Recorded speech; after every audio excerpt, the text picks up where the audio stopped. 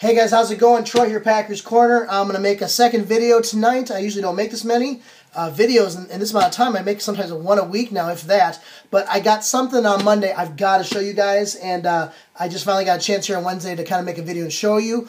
Uh, what I ended up getting was on, on President's Day, I was going to go to my local card shop slash comic book shop, and they got everything, videos and movies and video games and everything else. And I knew they had something there that I saw one time, and I wanted to pick it up. And so I went there, and the my, the guy that I was going to buy it from wasn't there, so I had to go away for a little while and come back. But this is what I ended up picking up: 1981 uh, handheld tabletop Tron video game. This game is pretty cool. Uh, 1981. It's got the battery case still on it, and to make it even better. It still actually works. Just flat out incredible. I could not believe it. Let's see if I can get this game going. The first game is a light cycle.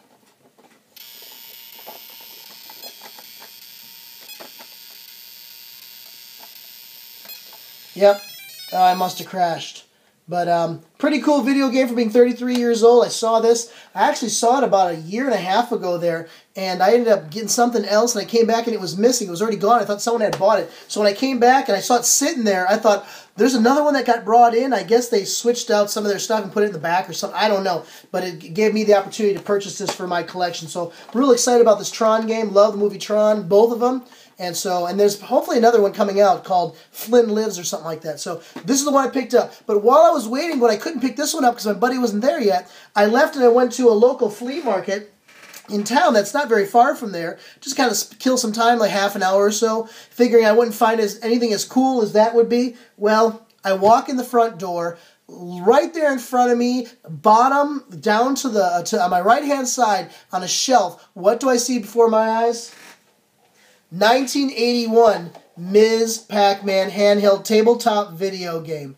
Could not freaking believe it. It's one of the ones that I did not have. I really wanted this one, and so I picked it up. Uh, it actually has the battery cover on the bottom, but you can see it must have like a Kool-Aid stain or something like that. It's not battery acid. I checked it.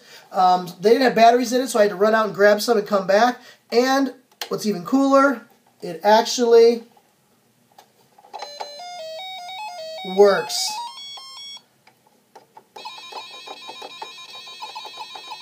How cool is that?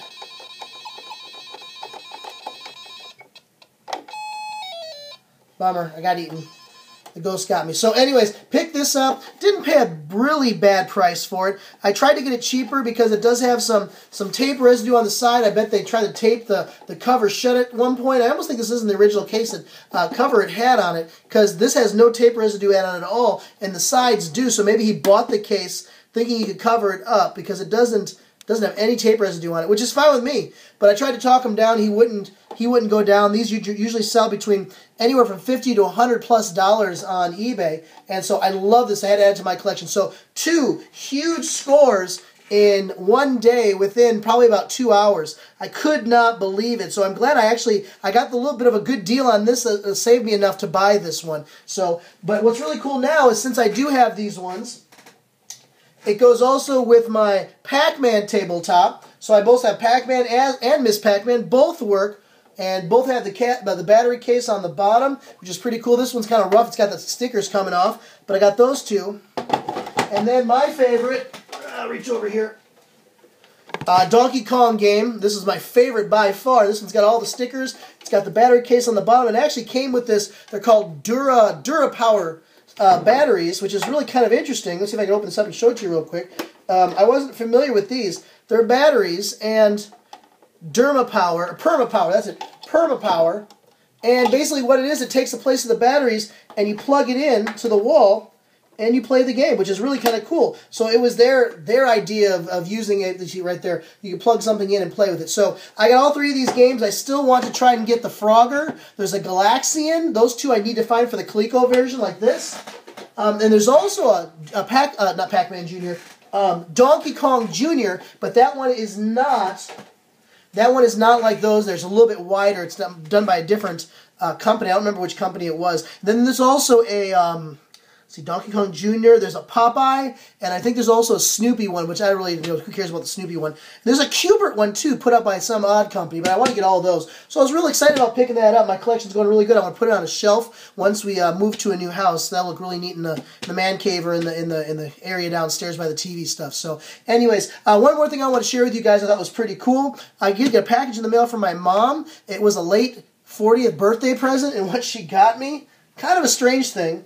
She sent me this sweater vest in the mail. I'm like, what am I, Mr. Rogers or something? I mean, look at the 70s. Look on that thing.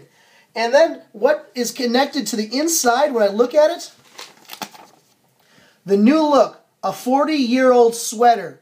This sweater was Grandpa Shatola. Shatola is my grand my mom's maiden name. So we got we got Shatola, my great my grandfather who passed away 20 well now it's yeah, it's 20 years ago plus. Um, this was actually his sweater. I think my dad maybe put it in his closet or had it in a, a, a chest for that many time. But I got that. I thought that was pretty funny. Maybe one day I'll wear it and just call myself Mr. Rogers for the day or something. But anyways, guys, that's all I got. I hope you have a great week. And as always, God bless.